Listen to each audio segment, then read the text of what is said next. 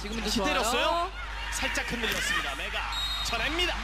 숨을 돌리고 있습니다. 정관장.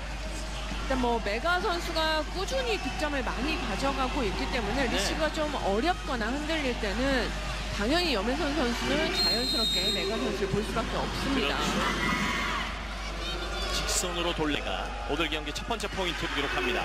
낮게 잘 떨어집니다. 김다은 제자리 점프. 언더핸드 토스.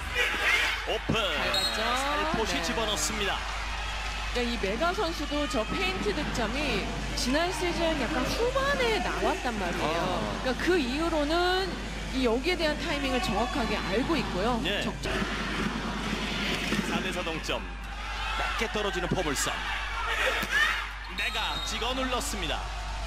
자, 이 메가 선수 앞에 지금 문정원 선수가 오기 때문에 상대적으로 메가 선수는 훨씬 더 수월하게 공격 득점을 낼 수 있는 부분이고요. 네. 문정원 선수가 들어오면 당연히 뭐 장단점은 있겠지만 이 높이적인 부분에서는 조금은 더 리스크가 있습니다. 자세를 낮추고 수비를 준비합니다. 엎어지면서 리시브. 보이로 네. 메가가 있습니다. 근데 염혜선 선수가 안정적으로 빠르게 후위 공격으로 연결을 시켜줬습니다. 네.